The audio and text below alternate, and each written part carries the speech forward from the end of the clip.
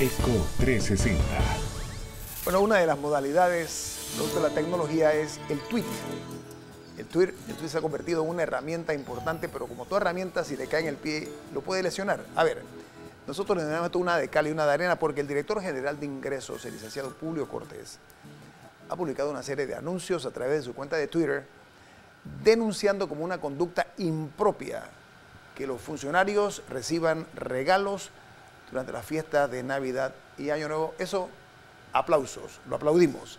Sin embargo, casi que a línea seguida, eh, expresó su apoyo político a Jorge Alberto Rosa, que es un candidato a diputado de su partido, lo cual es una clara prohibición constitucional que está muy clara en eh, la constitución política. Es más, esta es una práctica que el expresidente Martinelli con mucha asiduidad practicó cual deporte importante. Vamos a ver qué dice la constitución política en el artículo 136 para ilustrar la mesa y, a ustedes amigos. Dice, las autoridades están obligadas a garantizar la libertad y honradez del sufragio, se, produce, se prohíbe tal y tal y tal. Entonces vamos a lo medular.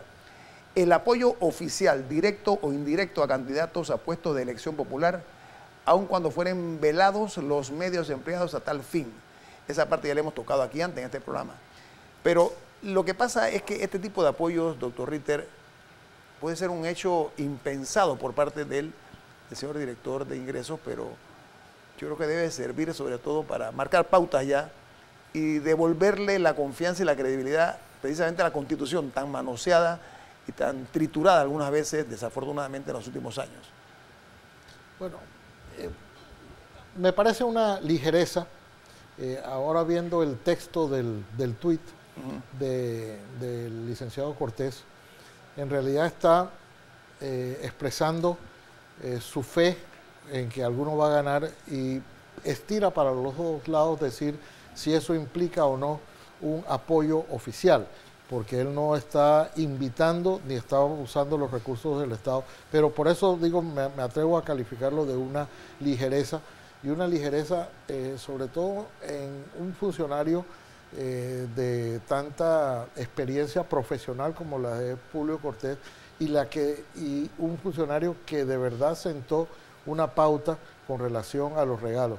El recibir regalos ya estaba en alguna forma eh, establecido en el en el código de ética para, los funcionarios, pero eh, es un, una disposición muy poco respetada.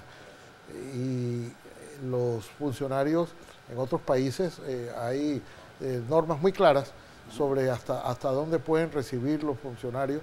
Ah, Vamos a parar en Washington. En Washington, los presidentes de los Estados Unidos tienen reglas muy claras con relación a eso. Es más, para que sepan, el Papa el Santo Pontífice igualmente, los regalos que le dan a él no son para el Papa, eso se queda en el Vaticano. O sea, e, e, esto es importante verlo, doctor Ritter, porque sería muy penoso con un alto funcionario se vaya llevando algo. claro, pero, pero sobre todo a nivel diplomático, ¿no? Cuando, pero es que eso es una cultura, realmente es una cultura que yo creo que nosotros tarde o temprano vamos a tener que establecer aquí. En realidad, después cada uno de esos presidentes se les hace una biblioteca o un lugar donde exhiben estos regalos, pero ahí se aclara que eso es propiedad federal, no es propiedad de ellos. ¿Usted se imagina a Barack Obama llevándose una espada producto del embajador de China? Por favor, oye.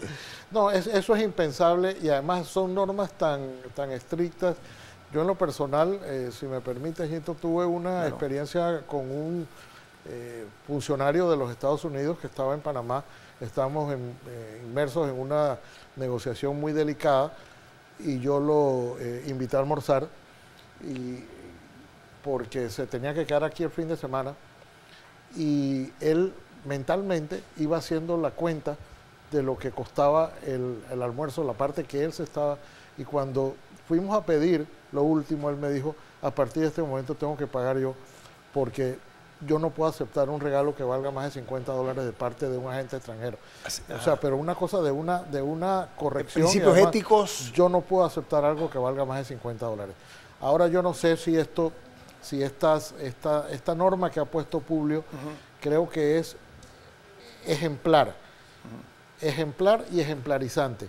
Los funcionarios no deben recibir eh, regalos de particulares, mucho menos si tienen casos que tiene que resolver la dirección donde está. Yo, recuerdo que aquí había funcionarios, eh, uno de ellos el director de migración, estoy hablando de hace muchísimos años, no me estoy refiriendo a ninguno en especial, que recibían regalos, pero eh, realmente no plumas, nada, sino eh, televisores, carros, que para un funcionario en aquel tiempo y hoy también son, son regalos que a todas luces parecen sobornos o parecen formas de lograr favores que no les corre, que, que, no corresponden. Además que es un exceso, digo. Pero por supuesto que es exceso. Ahora los presidentes, los ministros reciben muchos, reciben muchos regalos y esta es una buena oportunidad para que esos funcionarios en esta, en esta Navidad en alguna forma comiencen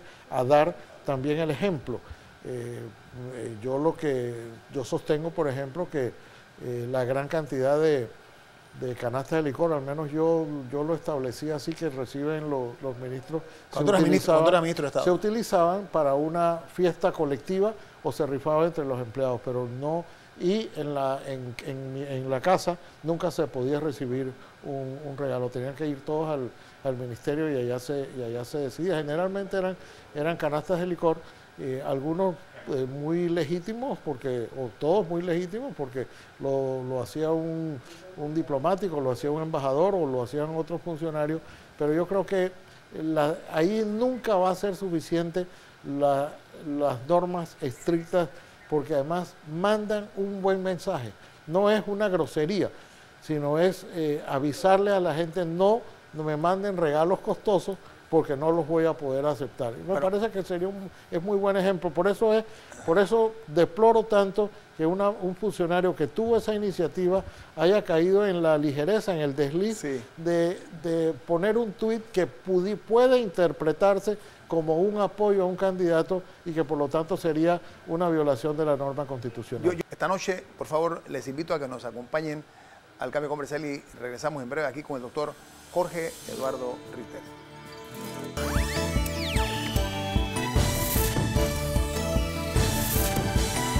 Eco 360